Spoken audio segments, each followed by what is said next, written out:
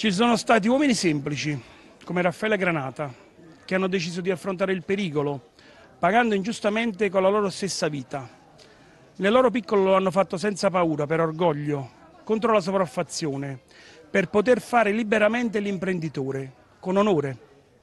L'onore vero, non quello falso e fetido delle consorterie criminali e delle mafie.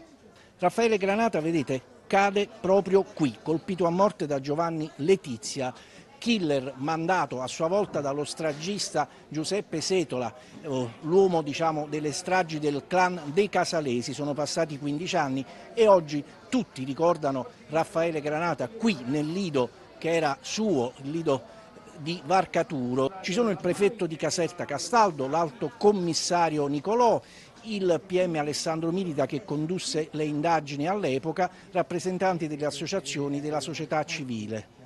Deve essere oggi ricordato il sacrificio di Granata e deve essere ricordato per stimolare tutti coloro che ancora a fronte di operazioni di polizia giudiziaria importanti non denunciano, essere stimolati ad affrancarsi dalla criminalità e stare dalla parte dello Stato. Quindi oggi il grido che deve venire fuori da questo incontro appunto perché Granata l'ha fatto è denunciare.